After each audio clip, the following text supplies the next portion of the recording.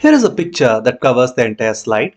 Right click, copy, right click, format background and go to picture or texture fill and go to clipboard. Now I've made this picture as a background. Now let us place this picture back onto the slide. Then go to picture format, go to color and choose recolor option and I'm going to choose this sepia option. Now this looks fairly vague and dull. Now I'm going to bring in some color to this picture. Let us zoom out a little bit. Go to home, shapes, pick up this tool called as freeform scribble and I'm going to draw just around the area, the grass area that I want to highlight. And you can see this entire stretch is covered like this. And then I'm going to draw around the slide area and then go to the starting point. Now what I've done is I've created a rough shape that is in the form of the grass. Now go to shape outline, say no outline, right click, format shape, go to fill and here you have the option called slide background fill. Now when I go to slideshow, you can see that just the front portion is with color